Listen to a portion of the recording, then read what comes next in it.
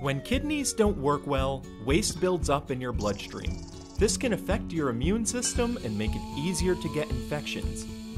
Your dialysis access is your lifeline. It connects you to the dialysis machine. Unfortunately, your access isn't germ proof and can get infected if not cared for properly. Why are infections bad? If your access gets infected, it can feel like a terrible flu. With fever, chills, nausea, vomiting, and body aches. When you were a kid, you could just skip school and the flu would go away with time. Chicken soup, daytime television, and sleep were your comforts. If you get an access infection, professional medical treatment is usually needed.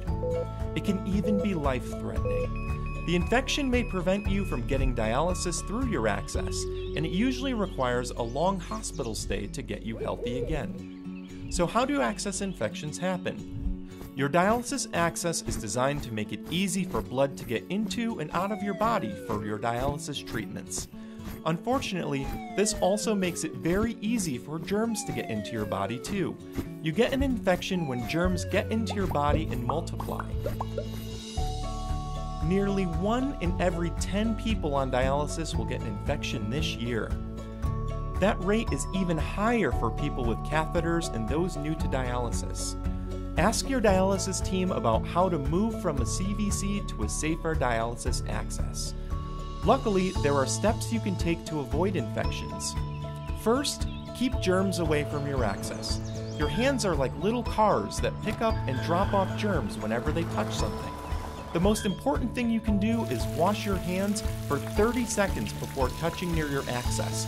30 full seconds every time using antibacterial soap. Why 30 seconds?